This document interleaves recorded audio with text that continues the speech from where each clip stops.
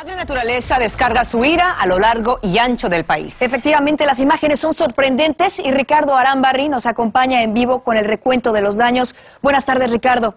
Michelle, Pamela, muy buenas tardes. Lo dijo el propio gobernador del estado de California. Estamos en una batalla contra la naturaleza y la naturaleza es mucho más poderosa que nosotros. Son varios los estados del oeste los afectados por situaciones extremas, o incendios o exceso de lluvia con las consecuentes inundaciones.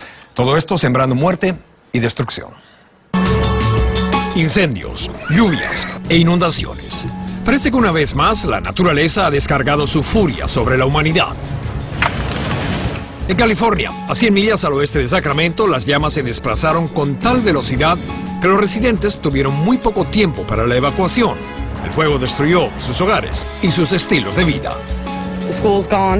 Escuelas, tiendas, casas. Hemos perdido todo, decían los afectados. Estos incendios cobrarán vidas, dijo el gobernador de California al tiempo que declaró estado de emergencia en cuatro condados. Una persona ya perdió la vida y miles han sido evacuadas. Al este de Sacramento, otro voraz incendio ha quemado más de 70.000 acres, forzando la evacuación de unas 11.000 personas. Pero la lluvia, que para algunos en California representaría alivio, en Utah ha causado estragos.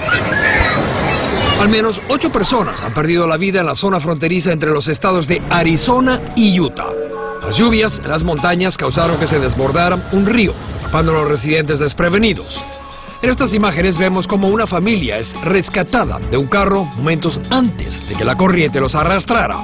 A una milla río abajo, socorristas buscaban entre los escombros y el lodazal a una madre con sus hijos que fueron acarreados por la furia de la crecida del río. En total, 16 personas en dos vehículos que habían ido a ver la inundación fueron presa de la naturaleza cuando una súbita ola de agua y escombros los sorprendió, arrastrándolos con la corriente. Cinco de ellas continúan desaparecidas.